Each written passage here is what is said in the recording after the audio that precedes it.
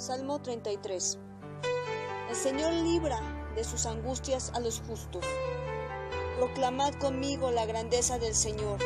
Ensalcemos juntos su nombre. Yo consulté al Señor y me respondió. Me libró de todas mis, mis ansias. Contempladlo y quedaréis rabiantes. Vuestro rostro no se avergonzará. El afligido invocó al Señor y Él lo escuchó y lo salvó de sus angustias.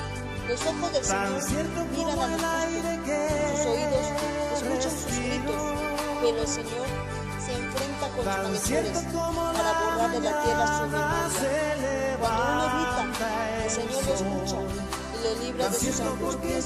El Señor está cerca de los atribulados, salva a los abatidos.